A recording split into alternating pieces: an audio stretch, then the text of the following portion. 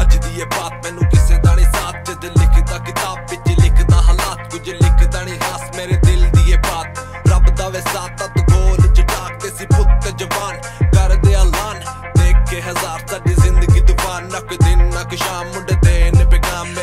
ਮੇਰਾ ਪੈਗਾਮ ਨਾਲੇ ਦਿਨ ਨਾਲੇ ਸ਼ਾਮ। ਤੇ ਦੇਖੀ ਮੇਰਾ ਨਾ ਕਿਵੇਂ ਬੋਲਦਾ। ਤੇਰੇ ਜੇ ਮੈਂ ਕਦਮਾਂ ਚ ਰੋਲਦਾ, ਕਸਮੇ ਖੁਦਾ ਦੀ ਜ਼ਰਾ ਨਹੀਂ ਮੈਂ ਬੋਲਦਾ। ਕੱਖ ਨਹੀਂ ਮੈਂ ਬੋਲਦਾ, ਮੈਂ ਰਾਜ਼ ਦੀ ਮੈਂ ਬੋਲਦਾ ਪਰ ਜਿਨ੍ਹਾਂ ਦੀ ਆਦਤ ਧੋਖਾ, ਉਹਨਾਂ ਲਈ ਪੇਗਾ ਦਾ ਮੌਕਾ ਮਿਲ ਵੀ ਜਾਵੇ। ਜੇ ਮੌਕਾ ਉਹਨਾਂ ਕਰਨਾ ਫਿਰ ਧੋਖਾ।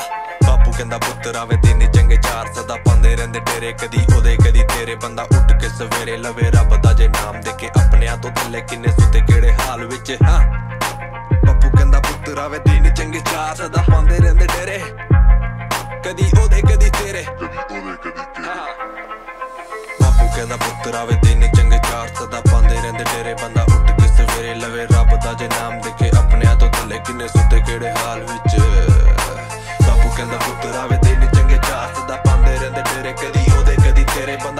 ਸਵੇਰੇ ਲਵੇ ਰੱਬ ਦਾ ਜਨਾਮ ਦੇ ਕੇ ਆਪਣਿਆਂ ਤੋਂ ਥੱਲੇ ਕਿੰਨੇ ਸੁੱਤੇ ਕਿਹੜੇ ਹਾਲ ਵਿੱਚ ਹਾਂ ਪੱਕ ਵੀ ਦੇਸੀ ਕਿਲਿੰਗ ਮਸ਼ੀਨ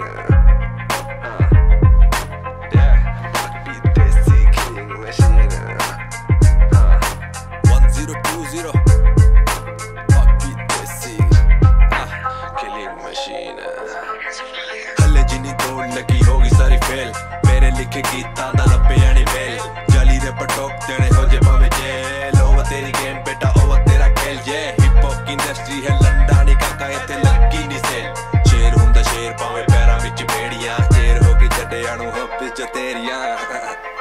ਆਪਾਂ ਰੇਲਾਂ ਲਿਖਾਰੀ ਬਸ ਲਿਖਦੇ ਹੋ ਆਪ ਕੁਝ ਪੂਰੇ ਹੋਏ।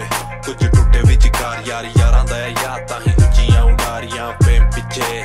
ਯਾਰੀਆਂ ਨਹੀਂ ਮਾਰੀਆਂ, ਨੇਮ ਪਿੱਛੇ।